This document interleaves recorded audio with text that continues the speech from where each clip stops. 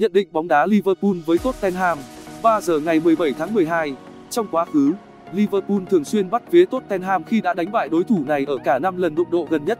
Nhưng Spurs này đã khác xưa, dưới bàn tay của cáo già Jose Mourinho, đội bóng London không chấp nhận để Liverpool giành thêm chiến thắng nào nữa. Cập nhật đội hình ra sân, tỷ lệ kèo. Các bạn hãy đăng ký kênh để cập nhật thông tin mới nhất nhé.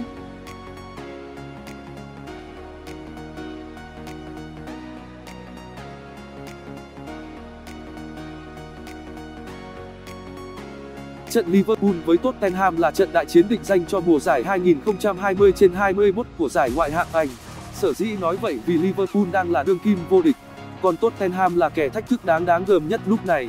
Những năm gần đây, Tottenham dù chơi hay đến mấy, dù từng lọt vào chung kết Champions League, vẫn luôn bị xếp ngoài cuộc đua vô địch Premier League giữa Man City và Liverpool. Nhưng mùa này, tất cả đang thay đổi khi Tottenham được trao vào tay huấn luyện viên Jose Mourinho với cá tính và bản lĩnh của một chiến tướng đã giành tới 25 chiếc cúp trong sự nghiệp. Nhà cầm quân người bồ đào nha đã thổi vào tottenham một luồng gió mới, một tâm thế mới. Xem tottenham lúc này có thể không còn hấp dẫn như dưới thời mauricio pochettino, nhưng sự nguy hiểm của họ, nhất là trong cuộc đua đường trường, thì có vẻ đã cao hơn hẳn.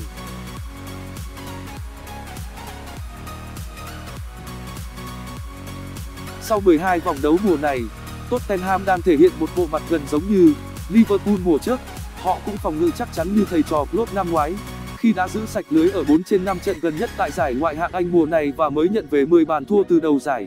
Họ cũng tấn công rất xuất sắc, như cách Liverpool công phá mọi hàng thủ ở Premier League 2019 trên 20. Nhưng sự xuất sắc của Tottenham mùa này là xuất sắc kiểu Mourinho. Spurs không cần cầm bóng nhiều, không cần có nhiều cơ hội, nhưng hệ phát hiện đối thủ mắc sai lầm là họ sẽ lập tức nắm lấy và trừng phạt nạn nhân không thương tiếc. Trận gặp Man City ở vòng 9 mùa này là ví dụ, trên sân nhà, Tottenham chỉ cầm bóng 34% và tung ra đúng hai cú dứt điểm trúng đích, nhưng cả hai lần nhà đạn ấy đều xé lưới man xanh, để rồi Tottenham đánh bại đối thủ lớn này với tỷ số 2-0. Cần biết rằng, trong mắt các nhà cái, Man City vẫn là ứng viên số 1 cho ngai vàng ngoại hạng Anh mùa này với tỷ lệ 7 trên 4, tức đặt 4 ăn 7. Nhưng đội bóng được đánh giá cao ngất ấy vẫn gục ngã không thể bào chữa trước một Tottenham lạnh lùng và thực dụng. Chiến thắng ấy của Tottenham luôn được xem là lời cảnh tỉnh cho Liverpool. Dẫu vòng đấu vừa rồi, Tottenham vừa bị Crystal Palace cầm hòa với tỷ số 1-1, thì thầy trò huấn luyện viên Jurgen Klopp vẫn không được phép để tham số bất thường này đánh lừa. Đó chẳng qua chỉ là một tai nạn, và cần nhớ rằng, các đội bóng của Mourinho luôn đá cực hay khi đụng độ những đối thủ lớn chứ không phải trước các đội tép diêu như Crystal Palace.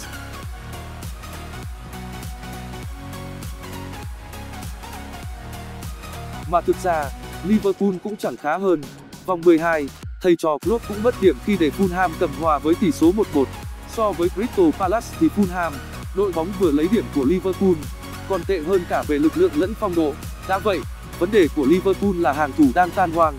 Sau trận hòa Fulham, huấn luyện viên Klopp đón thêm một thương binh nữa ở tuyến hậu vệ là Joel Matip.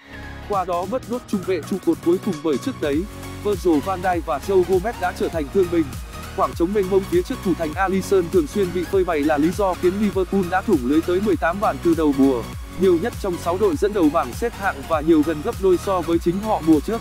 Trận này, Matic nhiều khả năng sẽ phải tiêm thuốc giảm đau để vào thi đấu, nhưng dù như thế, hàng thủ Liverpool vẫn khó mà đem lại hệ số an toàn để các cầu thủ tấn công phía trên thoải mái vây hãm khung thành Tottenham. Thực tế này càng đáng lo khi đội khách đang sở hữu cặp bài trùng khủng khiếp Son, Can những người đã cùng nhau tạo ra 11 bàn thắng của Tottenham mùa này.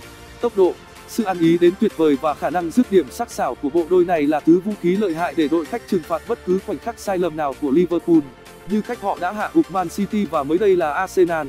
Dự đoán tỷ số 2-2